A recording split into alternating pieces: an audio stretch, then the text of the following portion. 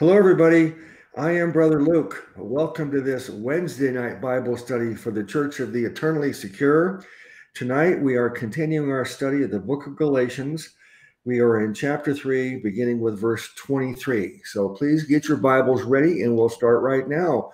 Uh, uh, and we did have a little technical issue. Uh, that's why we're running a little behind schedule. So thank you for bearing with us.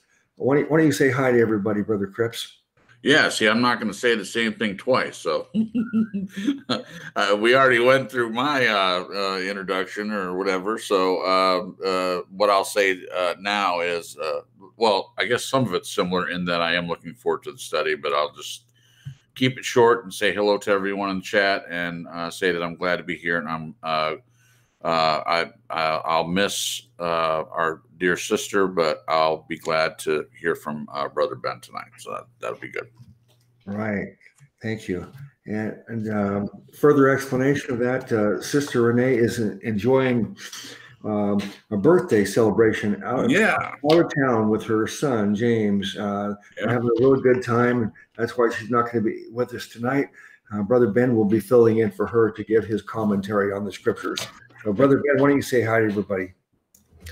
Hi, everyone. How you doing? It's good to be here. Um, I have my stilts on so I can fill in fit those big pants that uh, I'm filling in for Renee, uh, but I'll do my best. Uh, and I also apologize for the technical difficulties because well, I'm doing something extra this time. I'm doing a, 4K backup. So as we're streaming, if anything happens, any hiccups, I'll have a, a pristine 4K copy offline that we can upload um, for backup purposes, or even if you want to see a 4K version after this uh, live broadcast. So, oh, cool. Yeah. Okay. Awesome. Yeah, that's a. You continue to uh, finding ways to improve uh, everything, so we are greatly appreciated and really greatly needed. Uh, we, we couldn't do these programs without you and Matthias producing them for us. So um, um, now uh, we said that Sister Renee is not here tonight, and Ben is is uh, filling in for her for, with the commentary. But my question is, um, are, are, we replacing Sister Renee? Is, is she replaceable? Is no. It, is it possible that anybody could replace Sister Renee? No. Yeah. No. There's uh, you know, they, they say that in business that you know, don't think too much of yourself because everybody's replaceable. No, that's but, true. But in this in this case, no, there's only one untwisted sister. You're right. There is no one like her in this big wide world. Yes. No. All right then. So don't worry about that, Ben. You don't need to worry about trying to live up to any expectations. Uh, we want. Uh, we're happy to get your unique thoughts. You can also wear your own pants. Yeah. yeah. Wear your own pants.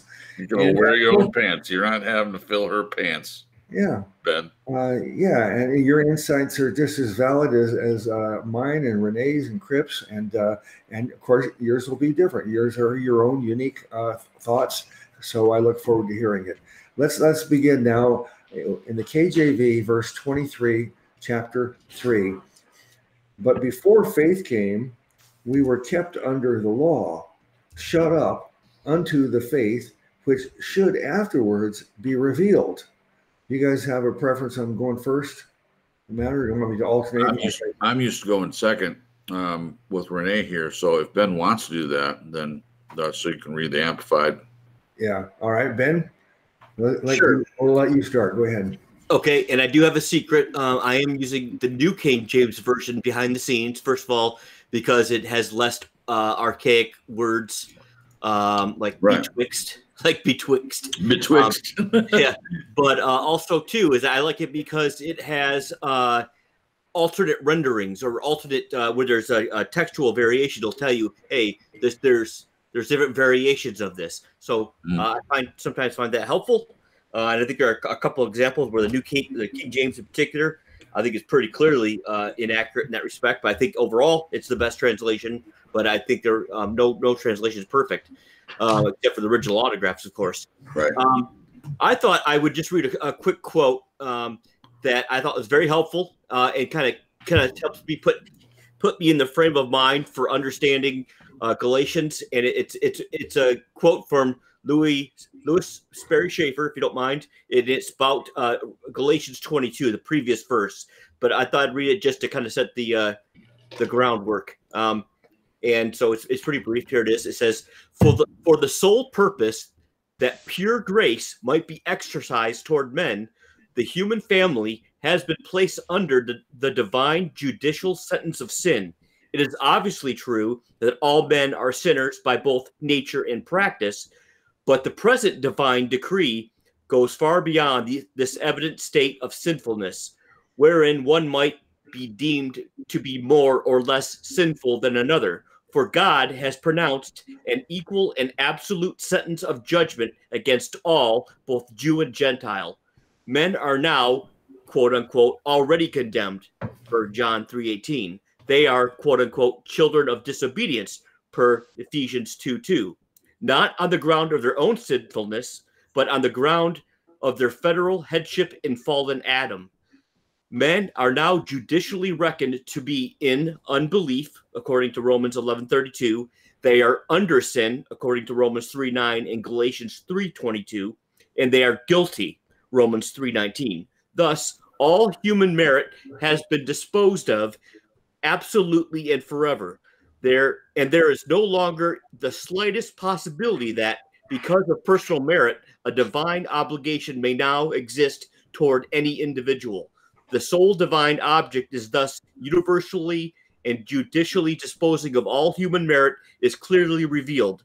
Quote, For God hath concluded them all in unbelief, that he might have mercy upon all. Romans 11 32. Also, but the scripture has concluded all under sin, that the promise by faith of Jesus Christ might be given to them that believe, which is Galatians 3:22. So uh, again, I think that quote was helpful just to t- say that, of course, we're all condemned uh, because of our own sinfulness, but also because we're all born in Adam, and that's why we need to be born again in Christ as a new creature. And I think that's basically uh, the gist of uh, Paul's argument throughout Galatians um, is that you know there's no reforming the flesh; you have to be born again by the Spirit. Mm. All right, thank you. I, I have a question. Uh, um, do you know much about Lewis Sperry Chafer? And uh, I don't. Are you are you real confident with his uh, uh, standing in the on the gospel? Oh, absolutely, on the gospel for sure. Um, he's a classic free grace uh, uh, uh, preacher, and he's wrote a lot of great works. Um, there's a couple things I, I, found that you know just minor things. I think of his interpretation is a little different or not I didn't quite see it the same way. But yes, he is absolutely uh, a great resource if you want commentary on different uh, verses. What I think what I think his strength is is that he's great at seeing the big picture and bring bringing in multiple scriptures and and coming up with a like a summarized theme. Um, you know, he definitely can do that better than I can, and I, I appreciate his work for that reason alone. Hmm. All right, thank you. I mean, I've heard his name, of course, many times over the years, but I've never delved in to try to try to find out if he's someone that we should be, uh, you know, recommending and endorsing or not. But I'll take your word for it. You're, I know you're capable of scrutinizing it very well. So, uh, Brother Cripps, let me read that verse 23 in the Amplified before you give us your thoughts. Did he give his thoughts on the verse itself? I don't think he did. Oh, okay. I'm sorry. On 320, on, 23. Okay. Before faith came, we were kept under the law, under guard by the law, kept for the faith which would afterward be revealed. Well, I think, yes, I think um, absolutely the law was our schoolmaster. It was to lead us. It, it, it was there for a couple of reasons. One is to keep God's witness in the world with the Jews and protect that witness. Um, it, it, did a good job keeping evil out and uh, uh, corruption coming in, even though it, the Jews did fail, uh, it it ultimately survived enough where Christ could be born um, with uh, under the law, um, and the priesthood and things like that were intact. Uh, but I, I, do believe that, that it was mainly for to show us that God is righteous and man is not, and the law demands righteousness, but it, it's a witness against us because we are not righteous, and that's why we need to be. Uh, that's why it was our tutor to bring us to Christ, which could provide that righteousness. Uh, the law demanded righteousness, Christ provided it. That's kind of how I see it. Okay. All right, Brother Cripps. Uh, uh, I'm hopeful that the um, uh, Amplified is going to be real helpful. I'm optimistic it will, but uh, I think for me, I would need that kind of help on this. So let me read it in the Amplified. Okay. Now, before faith came, we were kept in custody under the law, perpetually imprisoned in preparation for the faith that was destined to be revealed. Hmm. Yeah, it's very similar. Uh, just kind of saying it a different way. Um, I think what Ben read kind of pre- helped prepare us for this idea, and I would agree uh, with what was being said. Um, so, verse 23 so before faith entered, I mean, obviously people had faith. Paul's not saying that faith didn't exist, he, but he's saying that uh, the law was in control. It was everything was about the law, following the law, doing what the law says. And then uh, Jesus came to fulfill the law, and when he did, I, I would agree with Brother Ben in, in saying that he he brought his own righteousness and imputed that to us, and uh, then we're saved by faith, according according to the uh, the Bible, and definitely according to Paul, we're saved by faith. We're saved by grace through faith in Christ. That's what Romans uh, five goes on about. Uh, and so then the last part of it, uh, shut up unto faith. Now the Amplified talks about it being in like imprisonment, and I would agree. Uh, the law is imprisonment. Uh, there are other verses that talk about uh, it being death. I mean, um, so for us, Jesus brought life. He brought us uh, a new life, and uh, with it, uh, faith. So by believing in Him, then we we uh, stand in the grace through faith, uh, and that was revealed after the fact. Is what Paul's saying. All right. Well, um, I could see how uh, this verse could be used against our, the gospel um, by the the lordshippers, uh, and the, or let's say the dispensationalists, uh, saying that there was a time where we were under law but not not faith. Now, the, the fact of the matter is, everybody hopefully will understand it and, and believe this: that um, uh, from Adam and Eve to all the way to present time and all the way into the future until the second coming of Christ every person has always been saved by grace alone, through faith alone, in Christ alone. Mm-hmm. No exceptions. No one has ever been saved by their own works, mm-hmm. or no one has ever been saved by a combination of faith and works. Mm-hmm. That's something you need to understand and accept. Um, and that's really one of the main points of this whole book of Galatians. Is it? It's uh, Paul makes sure you understand that way you cannot mix faith and works together. Otherwise, it's nullified. It has no value, uh, no saving power in a, in a, a mixed gospel. Uh, so, uh, how can we make sense of this? Uh, it's uh, when I read it, I think it says before faith came. And Cripps, you pointed out with the same kind of point I just made that people there was always faith before. So, what do you mean before faith came? The only way that this will make sense to me and and and and, and conform to uh, the gospel and the other scriptures that we trust is I would say it should it should say before the faith came be, be, the faith that we have come to understand the tenets of our of our Christianity. Oh, good point. Um, and uh, I see as I, as I'm looking through here with the Amplify, I'm looking at the NABRE, and that's not helpful. But I'm looking at the Young's literal.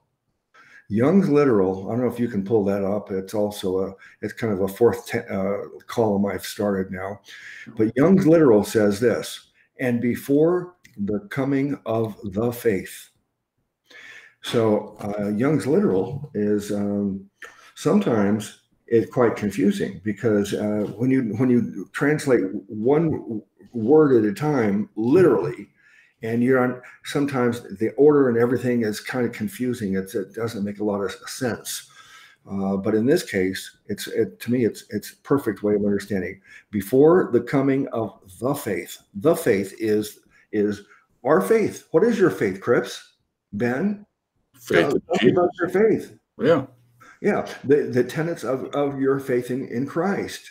That's what we're talking about. Not we're, we're not talking about the concept of the uh, you know faith compared to works. Agreed. Um, so, and then it says, under law, we were being kept shut up to the faith uh, about to be revealed. So, in other words, this be, before that, uh, before the faith was revealed, uh, they were trying to follow the law. Yeah. Of course, it wouldn't work. Uh, and then finally, it was revealed that wait a second, uh, the, the, law is just a schoolmaster to teach you about this new faith that you need to embrace faith in, in Christ as the solution to the problem. Also, Luke, uh, excellent point. Um, I, and I, I totally agree with that. Another way of looking at this too, where Paul says um, the the law kept us under a, a, a tutor. The tutor word for tutor is pedagogos, which I think basically means child trainer. And when he says to bring us, I think he's referring to bring us as not not Gentiles, but because he's contrasting the Gentile faith essentially and the and the Jewish uh, law.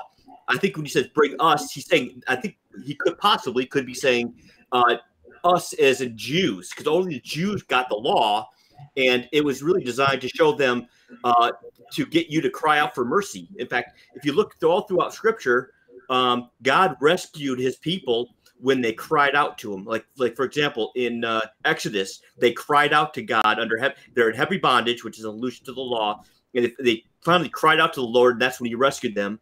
Um, in the end times, I believe all when all Israel be, will be saved, they also will cry out to Him, uh, and that's when He will rescue them.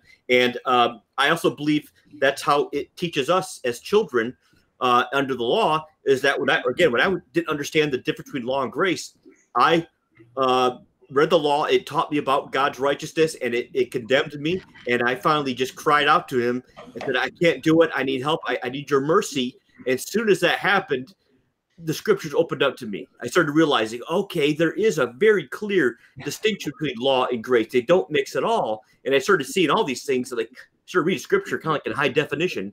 Um, again, it, it, it, in that sense, it was my tutor to show me I, the law can only condemn me. I, I, am there's something wrong with me. There's something fundamentally wrong with me.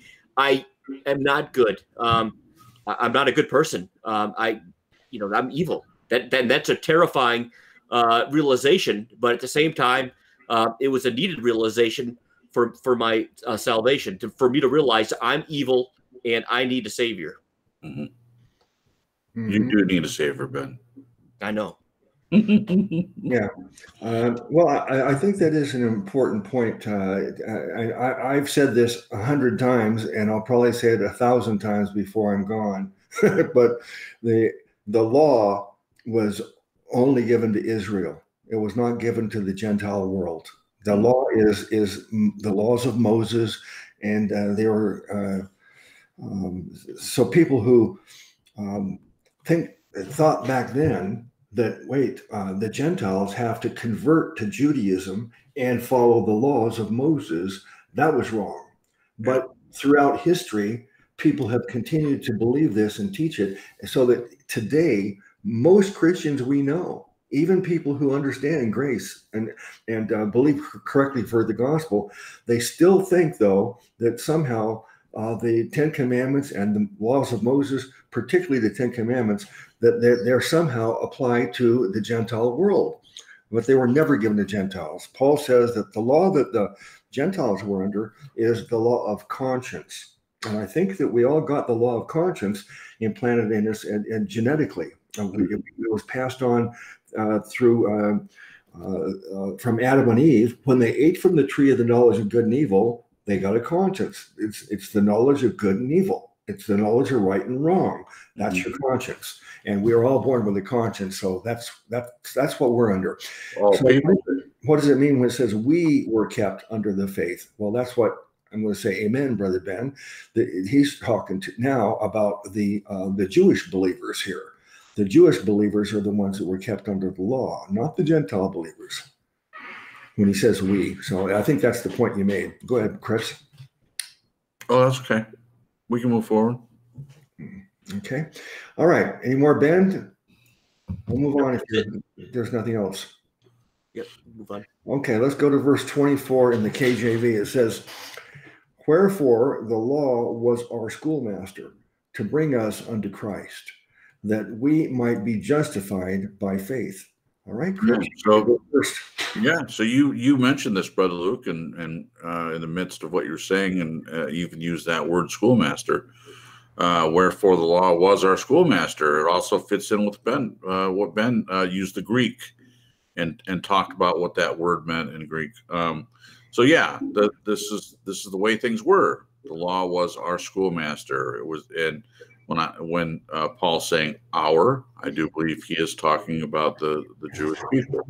I completely agree with what uh, was said that we're not under uh, the Mosaic law. We never have been. We never should be. But yet there are still groups of people out there today that uh, knowingly uh, go uh, back under the law and cast grace aside. and they cast Paul aside. That's a story for another night, of course. But they uh, in order to to make the Bible say what they needed to say, in order to get other people to go under the law, you have to remove Paul completely out of the Bible, and that's what they try to do. Um, interestingly enough, though, this particular verse ends with the sentence that we might be justified by faith.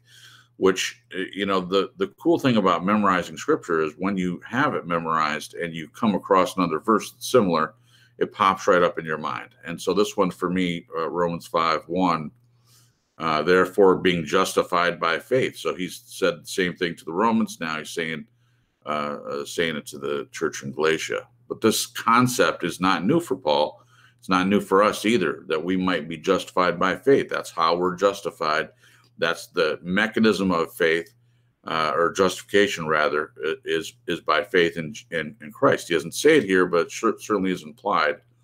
Um, but the point is, the schoolmaster he's following up verse 23 with verse uh, uh, 24 and calling it a schoolmaster. He's still talking about the law here, but he's also talking about uh, the, the part that uh, faith plays uh, in it now as opposed to back then.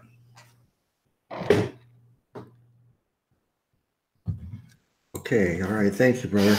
Uh, brother Ben, would you like me to read the Amplified first, or you just want to go ahead? Uh, sure. Go ahead and do the Amplified. Okay, verse 24 in the Amplified reads um, With the result that the law has become our tutor and our disciplinarian to guide us to Christ, so that we may be justified, that is, declared free of the guilt of sin and its penalty, and placed in right standing with God by faith. Yeah, Luke, uh, you said before. Um, you you made a point to call this verse out, and I I love that you did, and it stuck with me. And uh, I found it, and it was very clear in Scripture that it, it, stuck out like a sore thumb, and that was, and I'm quoting uh, not verbatim, I'm just being uh, uh, I, am paraphrasing, but it says, uh, "You must obey all my laws, so that it will be well with you in the land." It's nothing. It was. It never said anything about ever about eternal life. It was just about being well with you in the land, so you wouldn't um, suffer the consequences of of sin uh, and uh, suffer the consequences of being chastised, like like Israel was when they were um, brought into captivity and whatnot. Um, in fact, I, I, believe that you know Israel is basically a, a picture of uh, the uh, the flesh, essentially, um, and uh, even a believing uh, in the flesh, the carnal nature of, of, a man, where you can be obedient and as a believer and uh, reap rewards and uh, prosperity.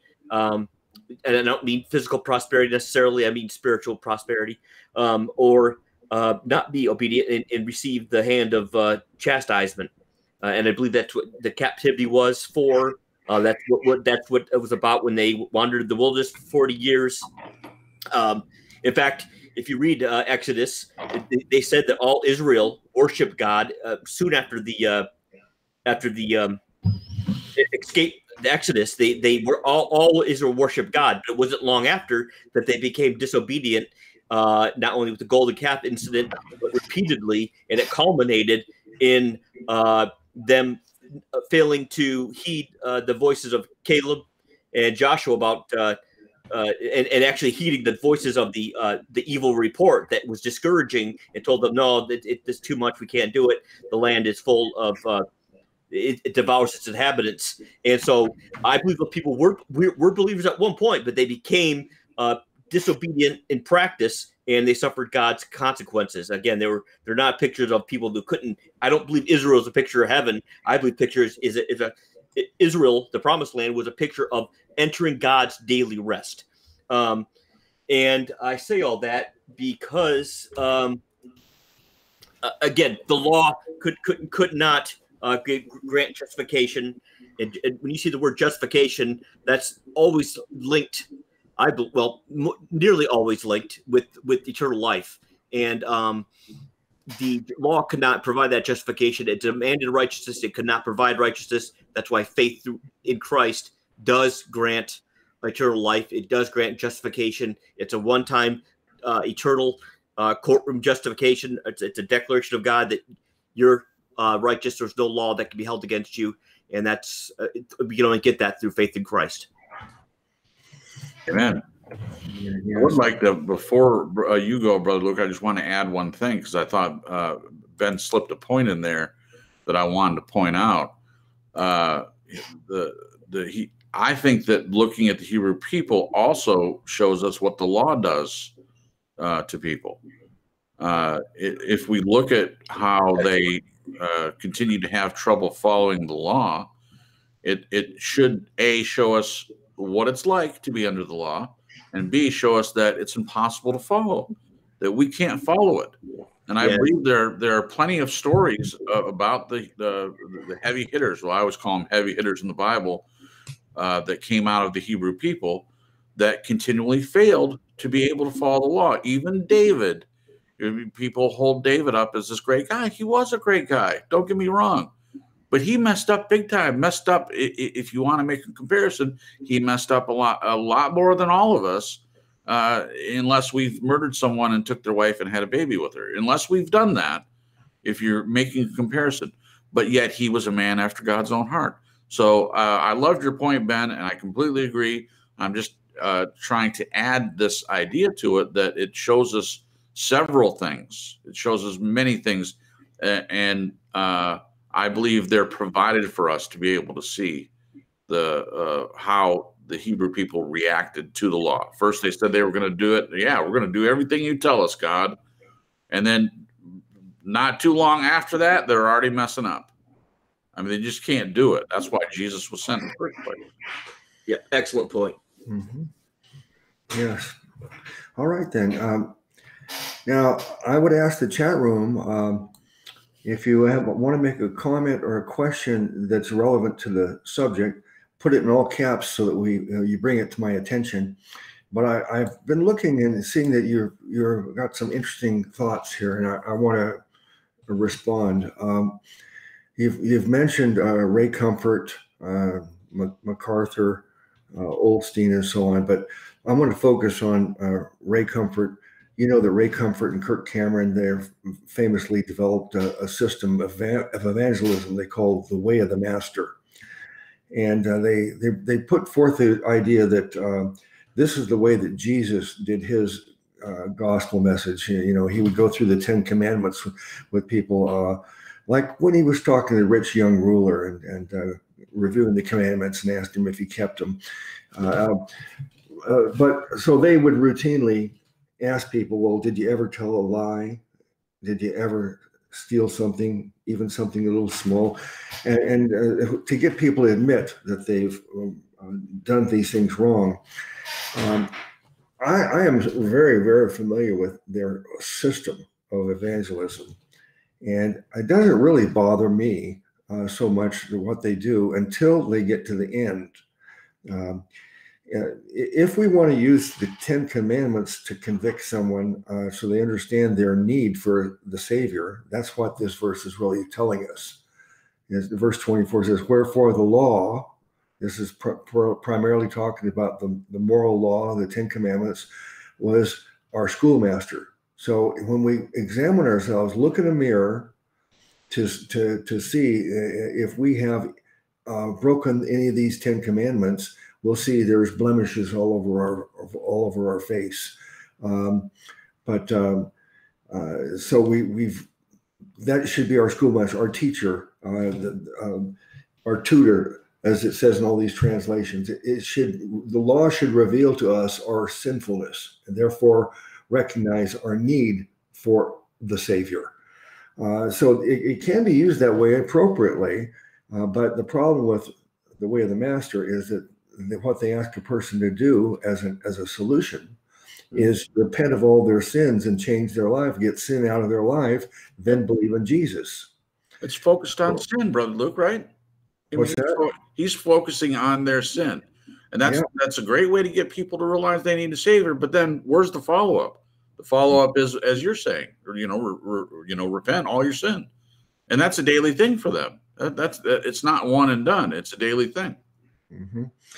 Yeah, I uh, when I first saw Ray Comfort's um, program on TV, um, that's what inspired me to go out and I tried to do the same thing he was doing. I got a camera and I filled out a little questionnaire and I would ask people if I could interview them. And, and, and I would told them, I'm going to send this interview into this television program and maybe you'll be on TV. And that was my intention. Uh, um, but uh, and I went through the same kind of a system. Of course, I didn't tell them the solution is to repent of their sin, though. But I did uh, ask them if they've, uh, you know, ever told a lie, ever, uh, you know, uh, stolen something, and so on. And uh, so I did use that method. Um, but I remember Bible Jim. He had a real problem with that. Bible Jim is one of the leaders of the like the street preachers of America and he didn't like people using the Ten Commandments. And I, I eventually ended up agreeing that um, when we use the Ten Commandments, uh, it's very easy then for people to make them make the mistake that thinking that well we are under the Ten Commandments when, when in fact we are not. Uh, that only the Jews who were under those Ten Commandments.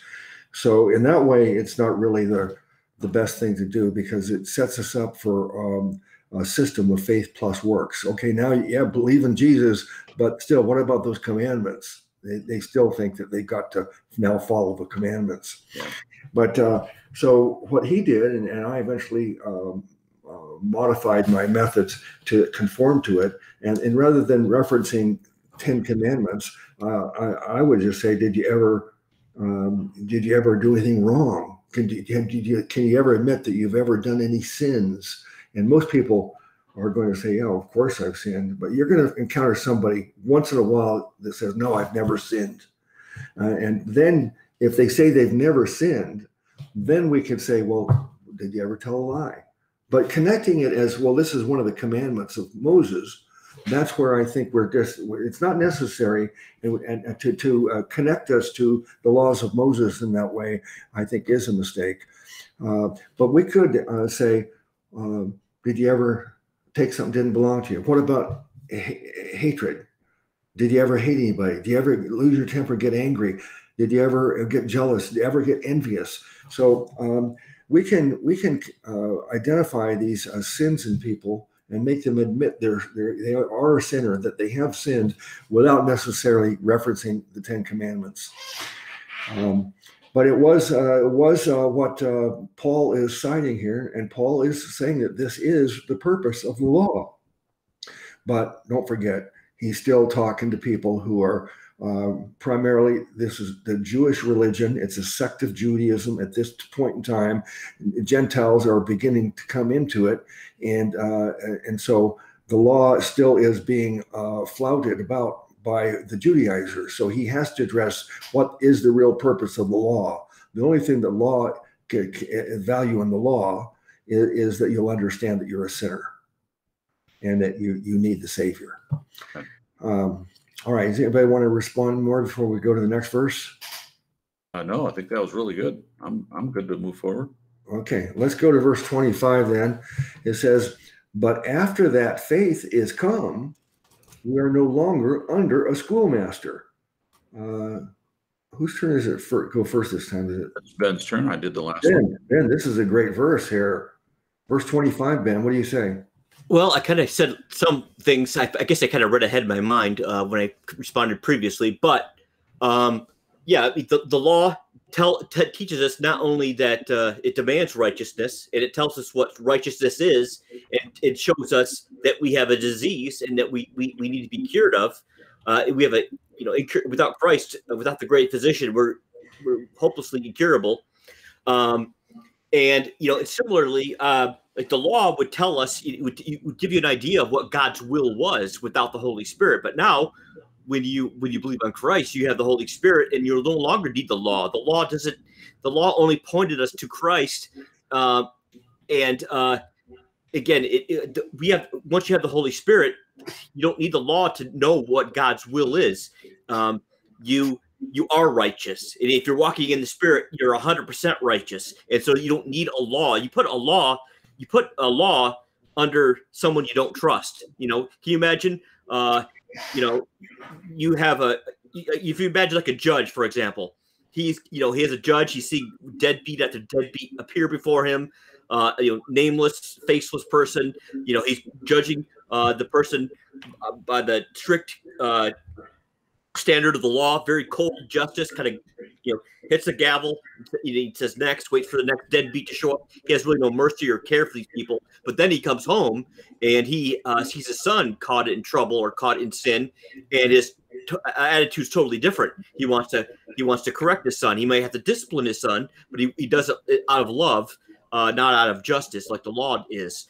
And um, again, I think. Uh, that the law is is, is kind of designed for a number of reasons to show us how, what how righteous God truly is, and to know what what uh, what we're faced with if we don't uh, receive a, a, new birth. We're going to get strict justice under the law, um, whether it be law of conscience or law uh, under Israel. We're going to be condemned by the law, um, and that's why we need we need something that's greater than the law, and what's greater than the law is mercy, and Christ is mercy grace and per- personified. Mm-hmm. All right, thank you. Uh, I'm going to read 25 in the Amplified, Brother Cripps. It says, uh, um, But now that faith has come, we are no longer under the control and authority of a tutor or and disciplinarian. Mm.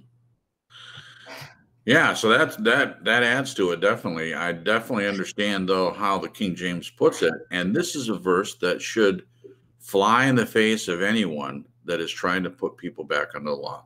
If you're talking to Hebrew rooter, it's way more complicated than that because they'd love to to uh, get into the Old Testament. They love to go back in the law. They love to say that God never changes. He's the same yesterday, today, and uh, forever, which we do not disagree on that point. He is the same. Uh, but they fail to see that God had different purposes for the Hebrew people than he does for us. So, Paul, this should wrap it up for people right here, verse 25. But after that, faith has come, which it has now through Christ. We are no longer under a schoolmaster. We're no lo- longer under a schoolmaster. We're no longer under schoolmaster. How many other ways is there that Paul needs to say this so that people understand it? I, I, I just, I, I don't know, but I, we understand it. Those people that are that believe in grace. We understand. Um, Brother Luke uh, uh, made a good point earlier to to draw this out a little bit and explain it. Uh, it's not for us. Uh, it's not even for the Hebrew people anymore. Now you're talking about dispensationalists. They believe that there's uh, uh, during the millennial reign, whether you're an amillennialist or, or you think it's already happened or whatever your beliefs are, uh, they believe that we're going to go back under the law. Uh, again, there's some mixture of law and faith. Um, I, I don't understand how they can believe that either. Why would uh, God send his son to fulfill the law and to put us under grace, grace through faith, like Paul's saying here? And then, oh, well, uh, no one else has to do it, but all, all the Jewish people have to go back under the law again.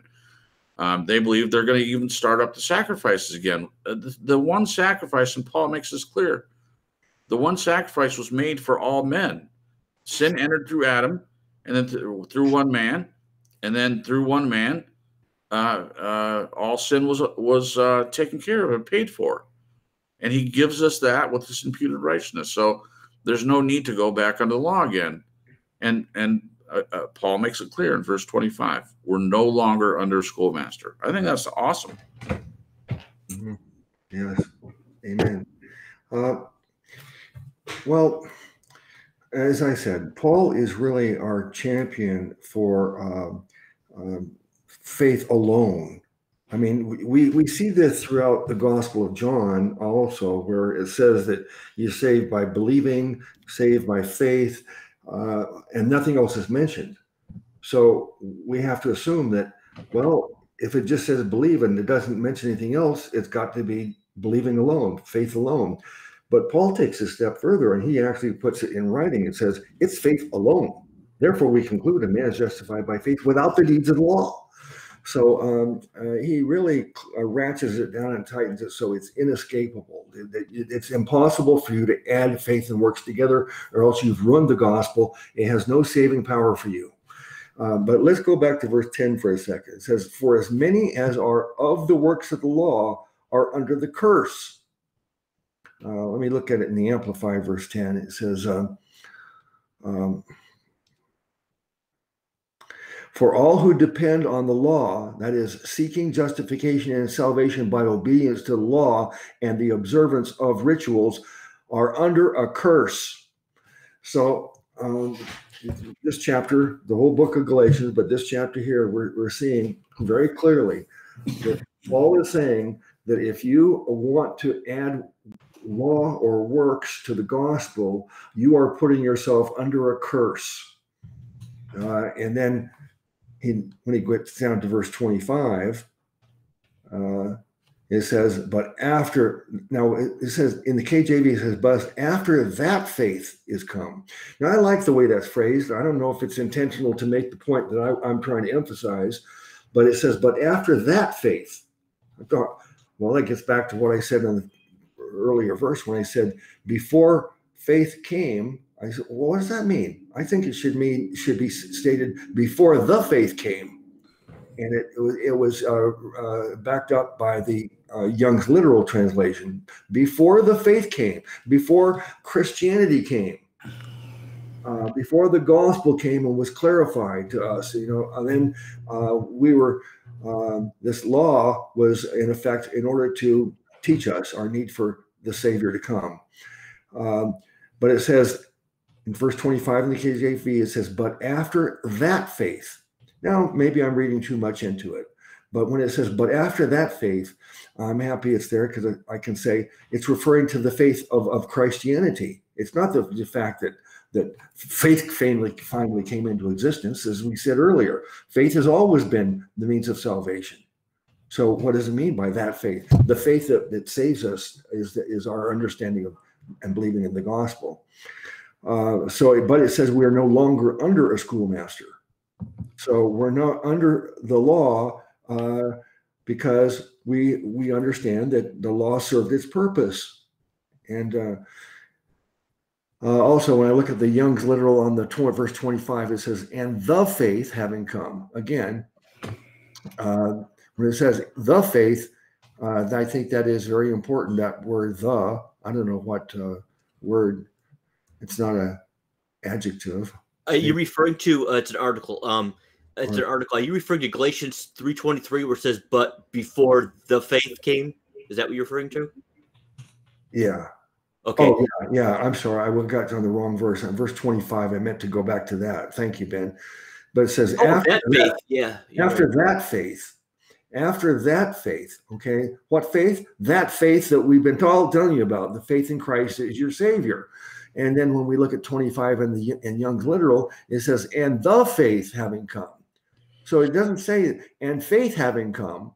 In other words, uh, a dispensationalist say, well, see, now now you're saved by faith. Faith finally came. We're finally in the in, in the in the in the dispensation of the grace of God. Now you finally people can get saved by faith without works.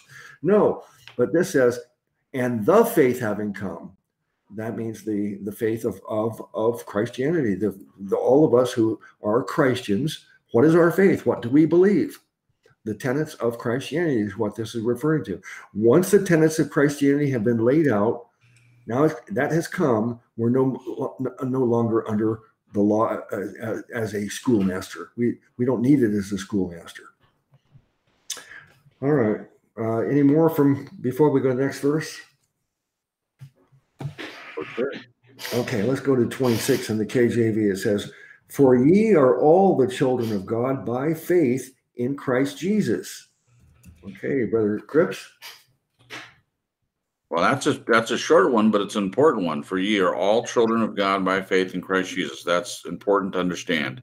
Um, and it and it's very true. When when Christ came, uh, he gave us the um, the option to be adopted as sons of God, which makes us the children of God.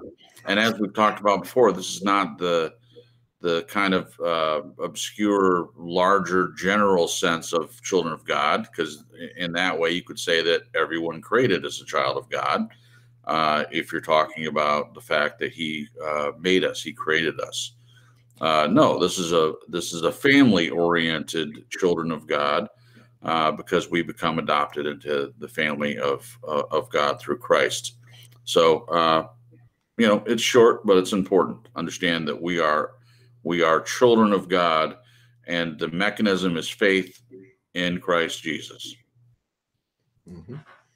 All right, thank you. Let me look at it in uh, the uh, Amplified, Ben. It says, uh, For you who are born again have been reborn from above, spiritually transformed, renewed, sanctified, and are all children of God that is set apart for his purpose with full rights and privileges through mm. faith in Christ Jesus.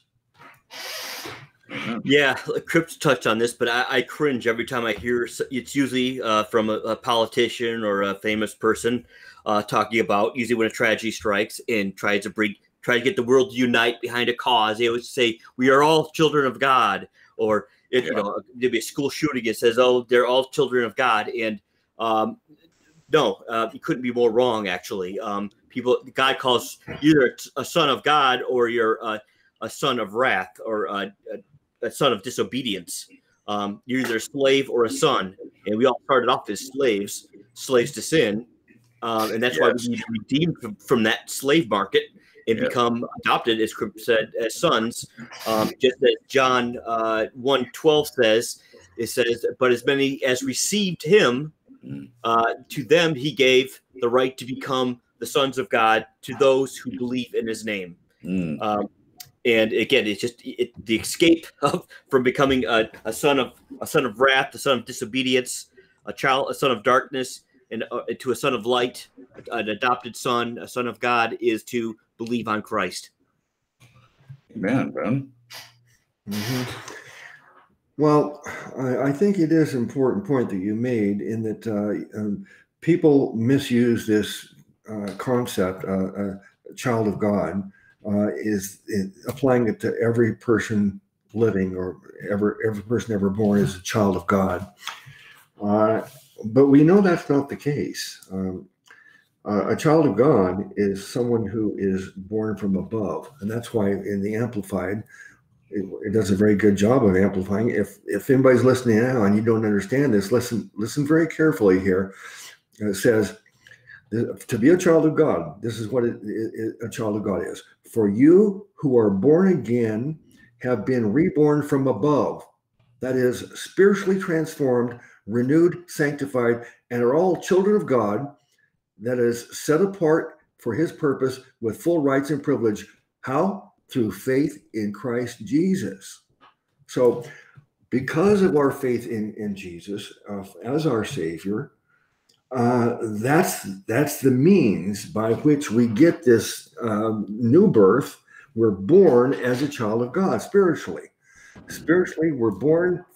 The Bible says, born ab- from above.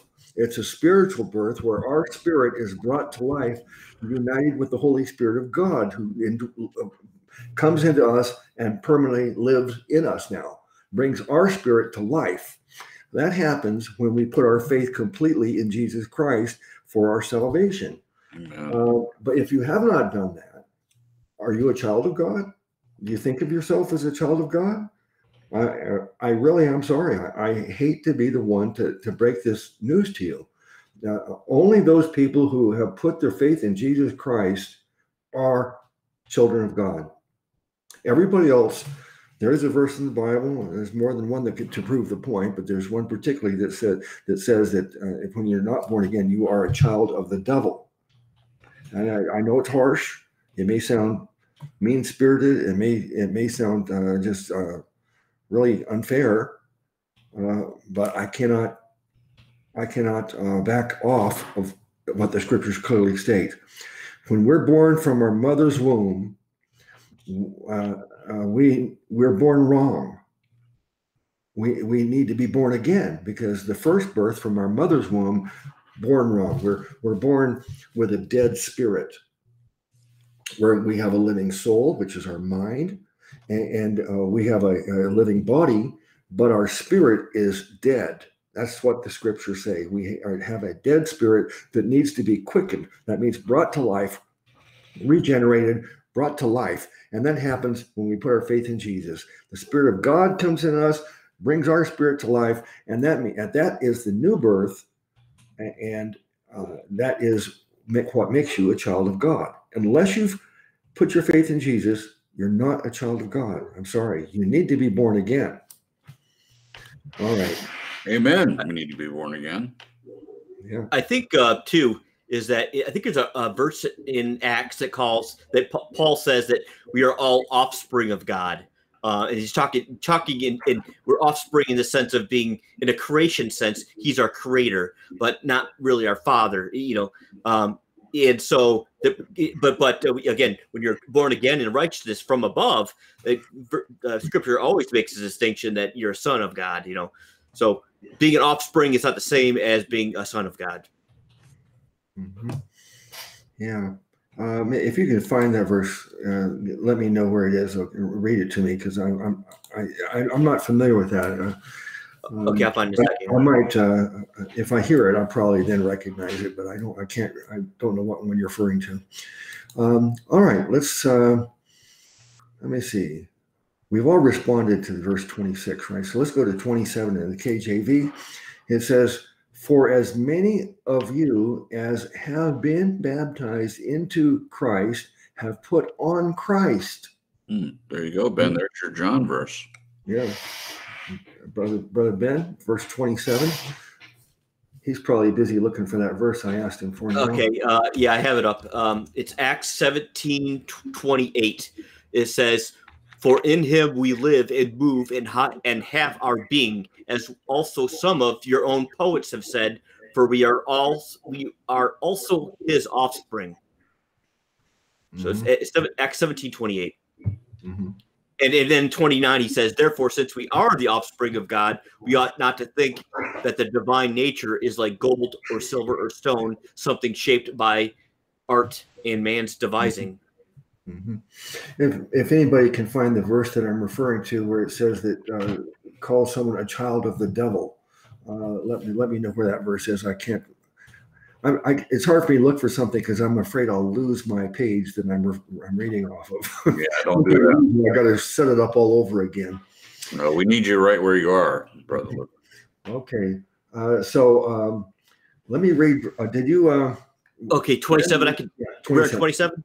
Yeah. Okay, so uh, for as many of you who are baptized into Christ have put on Christ. Well, um, you know, in the garden, we there was the God, the tree of, of knowledge of good and evil and anyone who tries to go back to the law is really just biting and eating from the tree of good and evil again. That's all they're doing. That's why we need to, you know, that's why Christ was hung on a tree. He was hung on a tree. He's the fruit of the tree, essentially. And in a spiritual sense, you are what you eat. If you eat, uh, you know, many of Christ's disciples were, uh, I think it's John 6 60 or 666 or something like that, where uh, we talked about Judas betraying him, and then many of his disciples could not take the hearings that he was saying about eating his flesh and drinking his blood. Well, yeah. that's what we need to do because uh, we need to drink his uh, righteousness. It, it, becomes part of our very being. So, and the word baptized means, uh, in, in its strictest sense, really means to be identified with. So, for example, I mentioned this before is that when you hear the word baptized in the Bible, you got to ring the word out in your mind because it doesn't always mean wet. Uh, more often, it means uh, to be identified with, and um, and so, for example, the uh, uh, the Roman uh, soldiers they would take hunting spears and uh, uh, or they'd have they'd take hunting spears, then dip them in pig's blood, and when they did that, it became a hunting spear. Uh, so it, it became identified with uh, killing essentially, and, or killing man, and uh, so they dipped it in, in pig's blood. Um, there's a number of examples like that, but uh, baptism was a, a common uh, practice back then, but also a common understanding it meant to be identified with. And so this verse is not teaching water baptism. In fact, it talks about putting on Christ. So he wore your sin, and if you believe that, you be you uh, you become you wear his righteousness. So you become inextricably linked with his identity and his righteousness. And uh, this is a great verse. I, it's one of my favorite verses because a, a Christ, God standing, you have put on Christ, just like uh, Jacob um, uh, wore uh, Esau's um, clothing to, to fool his father. So you got you cheated the law essentially. It's like Jacob was a deceiver, a cheater. You cheated the law by becoming by repre- being represented uh, to, in receiving the blessings without being who you actually are. You're, you're taking on a new identity. He got, in fact, he heard his voice, but he smelled and felt uh, Esau, and so uh, I think God hears our voice, but He sees and feels and smells Christ. Amen. Okay. All right. Let me. Uh, did uh, did we read that in the amplified? I lost my. I was looking at the oh. chat room. Okay. Let me look at in the in the amplified verse twenty seven. Uh, Cripps. It says, "For all of you who were baptized into Christ." into a spiritual union with the Christ, the anointed, have clothed yourselves with Christ. That is, uh, you have taken on his characteristics and values. Wow. Uh, ben didn't even read the Amplified, and what he said uh, uh, did a really good job of explaining that. I, I, really can't add much more to it except to say that um, even the verse, uh, I believe it was John that uh, Ben read earlier, says the same thing. So this isn't the only place where we can find this about what happens uh, for us uh, through Christ. We're baptized into Christ. We put on Christ. Um, you know, there's the there's the idea uh, versus taken out of context of saying that we need to be holy as He is holy. Well, how do we do that? Well, we're baptized into Christ. We put on Christ. We're crucified with Christ. Um, it's it's as if uh, we're up there on the cross too. I, am I'm, I'm saying metaphorically because no one went through the pain uh, that Christ went through. None of us. There's not one person alive that had to go through uh, the pain and torture that that he went through, and uh, on top of that, taking upon himself all the the, the pain of all the sin uh, in the world, uh, past, present, and future. So no one has experienced that, but we're uh, it's like we're crucified with Christ. We're no longer that dead uh, zombie flesh uh, person anymore. And as Ben said, uh, we're, we're, no longer slaves then. We're no longer slaves um, uh, to, to sin. Uh, Paul says, and, and I, uh, forgive me for not knowing where it's at, but Paul says we're now slaves to righteousness. but he doesn't treat us like slaves, he treats us like children because that's what we are to him. We are his children. So we put on put on Christ, and that's how we're able to be holy as He is holy. Uh, it's not from anything that we do. We don't we don't have the capability to be holy as He is holy without the work of the Holy Spirit in our lives, and that's what we get with the Spirit of Christ uh, within us, and that's how we live. Mm-hmm. Okay, thank you. Um, all right. Um, I have a playlist uh, titled Words Have Meanings. Uh, unfortunately, uh, I had to spend quite a bit of time, uh, many hours, defining words that should be not be so, uh, it shouldn't be necessary. I, I, even did a video talking about believe defined. I had to define what believe means because, particularly Calvinists, but many people, uh, they'll um, a word doesn't suit their purpose as far as their false doctrine, so they have to come up with a different definition. They'll use the same words we use, but they have a different definition in their mind. Um, so uh, it is important to um, know what the words mean.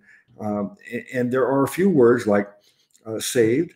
It doesn't always mean saved from, uh, you know, the second death. It could be mean, being saved from, uh, you know, a, a, soldier's spear or something, or saved from starvation, or um, a, a, a baptize. It, it, doesn't. It doesn't mean water necessarily. matter of fact, you should not assume that it means water at all, unless it states that it's water in the verse, or the surrounding verse. The context tells you clearly that it's talking about going into the water. Uh, if it doesn't clearly uh, state that it's water, then you should assume it's not water. It's a spirit baptism. Right. And that's the case in, in this in this verse here. And if when we read it in the Amplified, it, it it's I think it states it quite well here. Um, says for all of you who were baptized into Christ, that is into a spiritual union with the Christ. So they're interpreting as a spirit baptism. Um, now, there's a verse, uh, I think it's Acts uh, 2.38, if I remember correctly, that the uh, baptismal regeneration, regeneration uh, doctrine people use to uh, support their belief that you you have to get wet to get saved. Yeah. Um, you're regenerated, your spirit's brought to life, you're born again only when you get st- stuck under the water. Yeah. Um, but uh, Dave Geisler did a good teaching on it, and I think he's got it correct. And, and when, when he says in the KJV and, and other translations, they they use the word baptize uh, when the the word well, first of all, let me ask you, what does it mean to be baptized when we're referring to water? What actually happens? Uh, you're you're dunked under the surface. Okay, and when you're under the surface, what's another word for when you go under the under the water? You are submerged, immersed, immersed. Uh.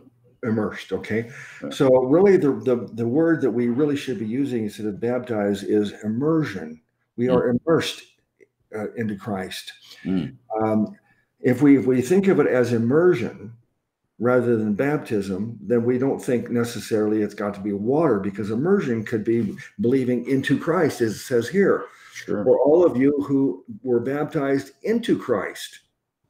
Now, I asked Ben uh, a few weeks ago to add a couple of um, kind of uh, truisms to our list that we, we are uh, promoting uh, as we open up each one of our church programs, we have all these truisms showing on the screen. Maybe there's truisms on the screen right now as we speak. I don't know. We're not right now, but um, if you look at these true, yeah, it says Jesus is the eternal God, manifest in the flesh is the Son of God. So as you look at these truisms that come on the screen, there's there's one that we've two that we've added recently, uh, and one is we believe into Christ, and the words in word into is capitalized. I want to emphasize the word into because uh, we'll all agree. Well, we, can we all agree that we believe in Christ? And and and um, we could even say we believe on Christ. Okay, what does it mean to believe in Christ? It means well, I believe in His uh, deity. I believe in His ability to save me. I believe in His faithfulness to keep the promise of salvation to me. Um, believing on Christ, uh, I, I, believe on him and that I'm depending on him. I'm relying on him. I have confidence on him to, to do what he said he'd do. Um, but really, uh, believing, when we believe for, to get saved, we are believing into Christ. We are being immersed into Christ through faith. And that's the way it's kind of expressed here in the Amplified. It says believing or uh, baptized into. Mm-hmm. So being immersed into Christ, that's what happens. Oh, I am in Christ, Christ is in me, the Bible says. Mm-hmm. So, Amen. all right, uh, let me see. Is that all there is to the verses? Verse 27. Uh, put on Christ. Yeah, I never heard that uh, illustration using uh, um, well, Isaac. Uh, uh, it was Isaac to put on the, the animal skin, right, brother? I, I, get that messed up. I thought it was uh, uh, uh that was Jacob and Esau. No, it was no I, Isaac and Esau and Jacob. Jacob oh, was, was that's right. That's Israel, right. Yeah, Israel. Jacob. Yes, thank you. Uh, yeah, but uh, so. Um, no, let me see. Abra- no, Abraham had Isaac, and and uh, and there were uh, Isaac. His brother was um, uh, Ishmael, mm-hmm. and then uh, Isaac had um, Jacob. Yep. Jacob had Esau. Yeah, so it was Jacob and Esau. Okay, it was a ship Esau. Okay, all right. I have to kind of. But yeah, isn't it interesting? Uh, I thought that was. A, I love that. Uh, that came to me one time. I was reading. it. wow, this is what uh, what how God sees us. Um, it's almost in reverse though, because uh, you know, Jake uh, uh, Isaac saw blessed uh, Jacob or Esau, who he thought was blessed J- uh, Esau, uh, by you know the you know Esau. I think is a clear picture of the flesh, uh, and then uh, Jacob is a more picture of the spirit. Um, mm-hmm. and he was a deceiver. You know, the spirit kind of it it it uh, it's uh, it trumps it tr- trumps justice. Mercy trumps justice, um, and I think uh, you know the spirit trumps the law, um, or the flesh, I should say. So I think that's a, a real clear indicate that that uh, uh, depiction in the Old Testament is a picture of of how we are born again, essentially. How God how how God sees us in, in, in terms of our righteous standing before His eyes. Mm-hmm. Yeah, and putting on Christ, also another picture of this is uh, uh, putting on the robe of righteousness, uh, putting on the righteousness of Christ. Uh, the um, now there is a, a, doctrine that was argued about uh, against uh, in the first few centuries as they're de- you know debating and trying to clarify this Godhead, and they wrote all these creeds. Um, they they're talking about the, the, the teaching that Christ was not really a man; he was just wearing uh, like the skin of a man. You know, it was like um, I've heard people say that uh, it was like he, uh, you're uh, he had he was wearing flesh or something. I forgot how it how that's phrased, but uh, it was argued as a heretical teaching because uh, they were denying the uh, full um, um, uh, humanity of Christ. In other words, they're saying that he, he's truly God, but he wasn't really man. He was just wearing like wearing the skin of, of a man, you know? Right. Um, so um, putting on Christ, uh, uh, in, in that way, though, I think uh, the idea of the robe of righteousness is a valid, um, you know, point, a valid uh, picture of this, putting on Absolutely. Christ. There's a lot of references in Revelation about wearing white robes, and I believe that white robe is a picture of Christ's righteousness. Mm. Okay. All right, let's go to verse 28 in the KJV. It says, um, uh, There is neither Jew nor Greek, there is neither bond nor free, there is either male nor female, for ye are all one in Christ Jesus. Well, there it is, right there, verse 28. Mm-hmm. Um, this is another clarifying verse to me. It, it, should should make it clear that there's no difference at all. We're all one in Christ Jesus, regardless of. He mentioned several things here: uh, Jew and Greek. There's no bond or free, uh, male or female. We're all one. So uh, that makes it pretty clear. Um, there, there's not one person that's better than another. Uh, we're not different uh, than uh, uh, being um, uh, Gentiles. We're not any different in that in in that sense in the body of Christ than the Jews are. They're not better. We're not better. We're the same. Whether a person is free or slaves, and I can go on a diatribe about how in the, this world has made us slaves in many ways. So uh, not in in the terms that I, I, think it was meant back then. You know, uh, slavery uh, ran rampant back then. I, am sure we're all aware of that. Um, but the point is, regardless of our status or our station in life, regardless of our uh, uh, sex or gender, uh, we're all one in Christ. We're in, in he did the the two verses above that are talking about being children of God. Um, verse 26 is telling us we're children of God. Verse 27 tells us how we're baptized uh, in Christ. We put on Christ, and then this one is saying that we're all one in Christ. There are three three verses, one after the other, that set this up for us to make us understand uh, our identity. I think it's wonderful. Mm-hmm. Yeah. All right, brother. Uh, let me read verse 28 in the Amplified, uh, Brother Ben. Um, there is now no distinction in regard to salvation, neither Jew nor Greek. There is neither slave nor free. There is neither male nor female. For you who believe are all one in Christ Jesus. No one can claim a spiritual superiority.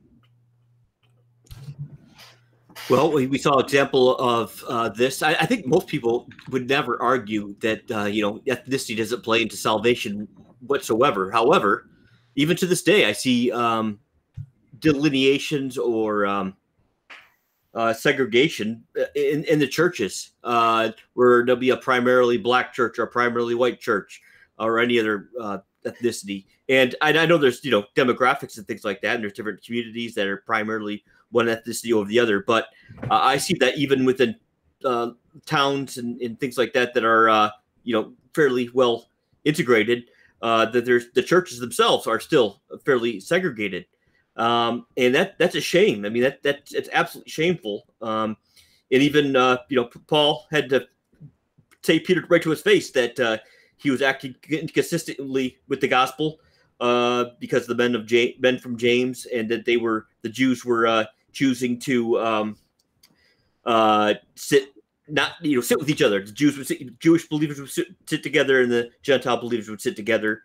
Um, and even in Genesis, there's a, I, I found a, a an, an, analogy where uh, the Joseph, when he invited his brothers, uh, when they he had not yet yet revealed his identity to them, or he was about to reveal their identity to them, he uh, sat his brothers uh, separately and the Egyptians separately because the Egyptians thought it was detestable or an abomination to sit with uh, these Asiatics or Hebrews. Um, and again, I, th- I, think that's a clear uh, parallel to uh, what happened in Acts and, and, what Paul had to do to rebuke Peter to his face. Um, and I see it even today. Um, and it, I, it, it's a real, it's a real shame. In fact, I, I think we should really only care about the welfare of each other as believers way much, way more than any uh, political or national or ethnic boundaries, and yet I see it uh, still going on today. Um, even uh, um, even among people that should know better and uh, are I, I, consider real true brothers and sisters. Hmm. Man, well, uh, when I first read this verse, the first thought that came to my mind was, "Wow, too bad Sister Renee is not here." this is a verse I know she'd like to talk about. Mm-hmm. Uh, this is a very important verse for her and for all, all of the sisters uh, that uh, are teaching and have a, a prominent uh, uh, role in, in our congregation that um, uh, that are not being held down or held back because they're female. Um, so this is an important verse for that. Now, when we read it in the Amplified, it makes this distinction about uh, being pertaining to salvation. It says, There is now no distinction in regard to salvation, neither Jew nor Greek. Let me pause there. Uh, this part is very important, uh, and I'm glad that they uh, they um, expounded or amplified that point there they say in regard to salvation, uh, because there is a faction. Quite uh, well, we, we talk a lot about dispensationalism. And it can't it can't be avoided. I'm sorry. I know that we have uh, you know a variety of people in our congregation. Um, and um, there are, are, degrees and ranges of dispensationalism. So, so, some people, maybe in the congregation right now listening, maybe you uh, identify yourself as some kind of a dispensationalist. But if you're a dispensationalist that, that believes that uh, in times past or in some point in the future that the method of salvation is is no longer faith alone, but it is a combination of faith and works. Then uh, that's the people I'm talking to right now, and that's the people that that the amplified translation is is um, um, uh, refuting in the, in their translation here. It says there is now no distinction in regard to salvation, neither Jew nor Greek. In other words, the dispensationalists, some were teaching that the Jews get saved differently than the Greek, the non Jew. That the Gospel of John, Matthew, Mark, Luke, and John, for example, they're not, you can't get saved from, from anything in those, according to the hyper dispensationalists. They, they say that, that that's the gospel of the kingdom. That's the good news that Jesus is going to establish a kingdom, a future kingdom for the Jewish people. Uh, and it's and, and, that's not how people get it. Uh, and now for us though, to get eternal life and go to heaven, uh, it's the gospel of the grace of God. Well, I'm sorry. There, it also says there's only one gospel. Mm-hmm. You know, there, there, there's one gospel, and and it's uh, this, the, grace alone, faith alone, Christ alone is the gospel, and and uh, so this point here about uh, being there's no Jew or Greek and regarding salvation, it means that whether you're a Jew, and that's talking about the people that uh, Jesus was talking about, talking to, the people that Paul's talking to here, the Jewish believers, uh, uh or people today. Uh, if you're a Jew and you want to uh, get saved, it's it's still the same. No difference between a Jewish believer and a non-Jewish believer. It's faith alone in Christ alone. Yeah. Um, it also says there is neither slave nor free. Uh, that doesn't really apply to us much today, thankfully. There is neither male nor female. This is an important distinction. But but does it does it mean then that that um, males and females get saved the same same way? Uh, did anybody ever teach that males and females got saved differently? No, I am not aware of that. I've never heard of that teaching. No. So uh, I would have to say that it's not only talking about uh, th- there's no distinction between male and female regarding salvation. I think that this is some is even broader than just salvation. This is just the way God sees us in the church. He doesn't look and see what one person is a male or female, one person is a Jew or a Gentile, one person is slave or free. He sees us all as the same, as children. And uh, um, and for you who believe, we're all the same in the sight of God. And and uh, of course, salvation is the same for everybody too. And one in Christ. Uh, no one can claim spiritual superiority. Um, well, that was that was a, a problem in that uh, the beginnings of the church they they they were quite arrogant about their position uh, in being a Jew. Uh, in fact, uh, John the Baptist says, "You, you think too much of your eh, eh, your ancestry. Uh, you know, as far as descendant of Abraham, God could turn these stones into descendants of Abraham to, to make them understand that that's that's not what's important. Your genealogy is not what matters. Uh, it's your it's your faith." Um, all right. Any more on verse 28 before we go to the, the final verse? No, sir. All right, let's go to verse 29 in the KJV. Uh, whose turn is it to go first? Uh, Ben's up for the last one. All right, Ben. It says, And if ye be Christ, then are ye Abraham's seed and heirs according to the promise. There you go. Um, I'd have to study this out, and I haven't um, yet. But when he says Abraham's seed there, I, am assuming that that's a singular seed. Uh, he's referring to Christ, and so you're in you're in Christ. It's another way of saying you're in Christ essentially. Um, and it has nothing to do with your, your your ethnicity at all. A lot of people like to say, you know, they use doctrines of like, oh well, you're, you're serpent seed doctrine, for example. Uh, and I think that's ridiculous. I think that can be absolutely irrefutably uh, well, uh, debunked. Yep. Um, and I think it's a very carnal way of looking at Scripture. And in fact, if you look at uh, every time I believe where Scripture says you are a son of or a father of, it's usually referring to a spiritual, like you're reflecting that person's character. So we're sons of Abraham in the sense that we're reflecting his character. And in fact, the person that uses your the name that uses that you're a son of, it's the first person in the Bible that uh, reflected that character. So, for example, I think it says Tubal Cain was great with uh, instruments of bronze and iron. Well, it doesn't mean that everyone who's good with bronze and iron, every blacksmith in the world is descended from him. It just means that he he he's reflecting that first person's character. Uh, and wow. same with um, there's I think I believe in Timothy, Paul says to women in the church that if you don't fear your daughters of Sarah, so it's it's a conditional thing, and it's it's basically are, are you going to uh, reflect that person's character by behaving as they did? Are you gonna are you gonna uh, take on those same attributes? So I think this verse here is again just saying uh, that uh, if you're Christ, then uh, you are you're, you're born you're born of Abraham. Christ was you know Abraham's descendant uh, of the flesh, but he was also uh, of the spirit, and uh, only the spirit is going to be, be receiving the promises. Uh, only the sons of God will be will be receiving the promises because a promise only way God can keep His promises it has if it has no contingent human contingent. Um, if it's if there's a human contingent, we will absolutely fail, and that's yeah. why there's no law that could give life. If there was, there would be such a law, but there isn't. Uh, because anytime you had a, a, human factor involved, you can guarantee we're going to mess it up. And that's mm-hmm. why the only way God can promise something is to make it totally, absolutely dependent on Him. Yeah. Uh, and I believe again with this verse, it's kind of I think this verse is kicking off that theme of thought that Paul's going to expand on in the next chapter. Yeah, you you almost became a preacher for a moment. That was wonderful. Yeah. Oh. Okay. Praise God. All right, Brother Cripps, let me read that in the uh, Amplified, verse uh, 29.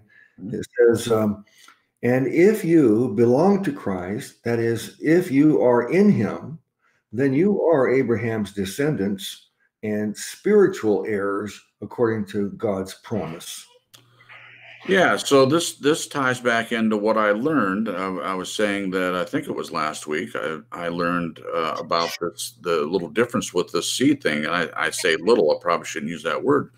To me, it's a big difference to understand who the promise was made to. I always thought it was it was, it was made to the Jewish people, but um, I, I, agreed with what was being said, uh, and uh, it sounds like uh, Ben did too. Uh, so this is a new thing for me, but verse 29 backs it up. So he's he said all this to say that we're in Christ. These verses above, we're children. Again, we're children of God by faith. Uh, we're baptized into Christ. We put on Christ.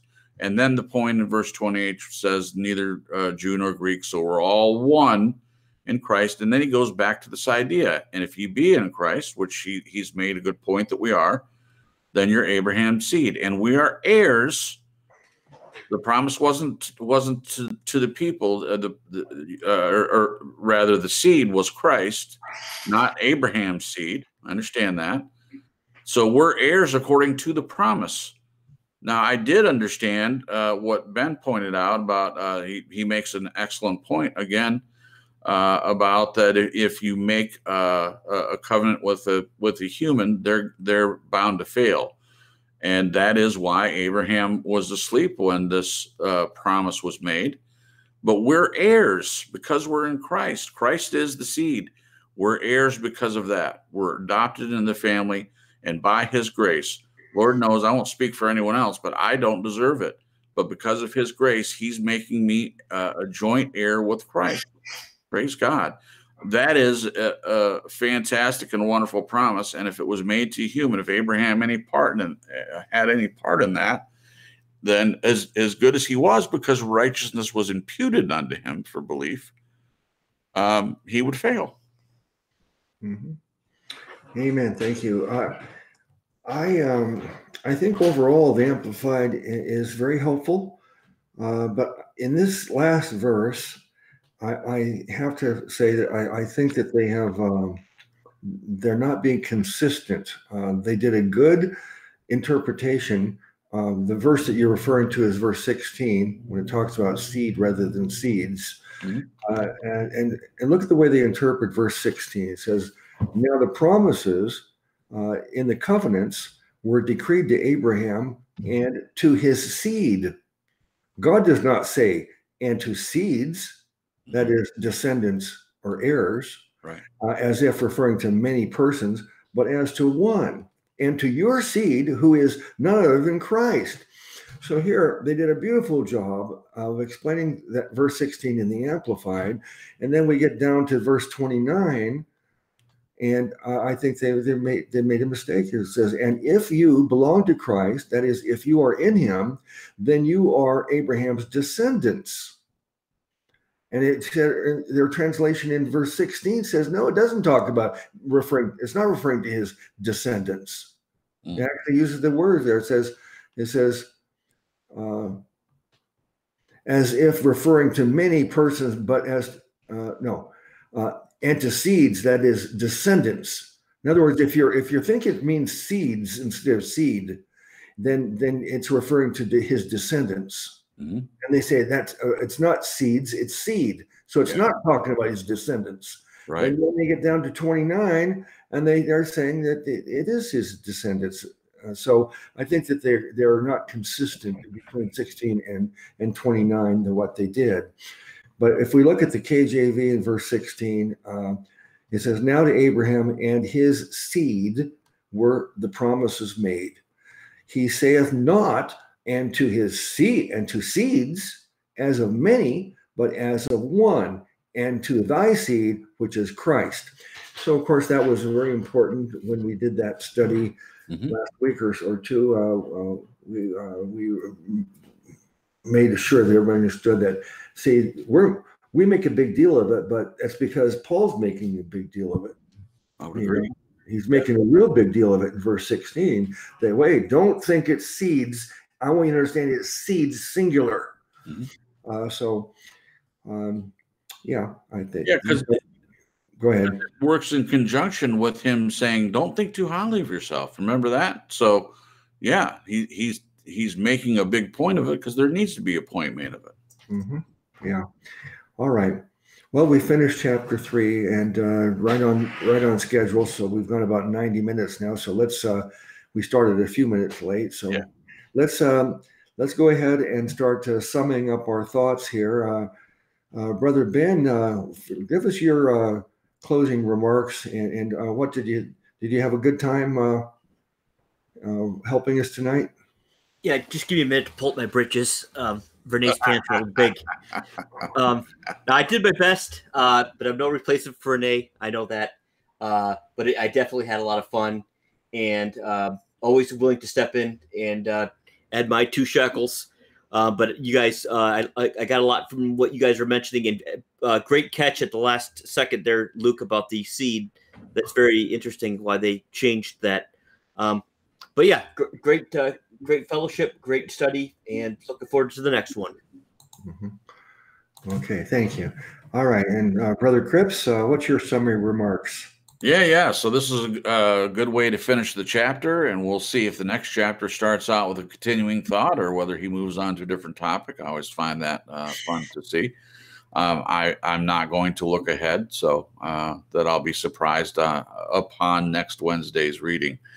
Uh, but yeah, so there's a lot, in, a lot in this. I, I loved how uh, Paul again makes these points about the law and uh, lets us know that it's you know through faith again um, someone in the chat said that they liked uh, Galatians because it's a, it's a good book for learning and understanding. I'm paraphrasing their comment. I think he said knowledge, but uh, same basic concept. And I would agree. I've already learned uh, a, few key factors, some things I understood before, but I've learned something already from Galatians. Um, and again, and I, and people are probably getting tired of me uh, saying this, but I, I keep saying it because it means something to me I am benefiting so much from these verse by verse readings and uh, listening to everyone's opinion. I definitely benefited from uh, uh, Ben's uh, opinions and always do. Uh, so uh, thank you, Ben, for stepping in. I think you did a great job through the Spirit, of course, and it, it, was it was wonderful and glad to have been a part of it again. And I look forward to next week. And I'll just say. Uh, good night to everyone in the chat. Hope you guys have a great uh, weekend coming up and week, and um, I'll see you next week. Okay, thank you. Well, uh, I have said this many times, and Renee has uh, has said the same thing. She's come to the same conclusion that um, uh, if uh, if the, for some reason the Bible was going to be destroyed throughout the world, and and only um, we it was up to us to save one book or two or three books. Which mm-hmm. books would we save uh, from extinction? We would choose the Gospel of John first, right? And then the next contender would be the next ones would be Galatians and Hebrews. Uh, I, am I'm, I'm, I'm was really interested in, and um, I, it's always nice when when when someone um, uh, comes to the same conclusion as I do. It makes me feel a little more confident that well, um, if he came to the same conclusion, it kind of strengthens my conclusion. But, uh, so Renee uh, decided the same thing. These are the three books that are uh, our favorites and most important, we would say.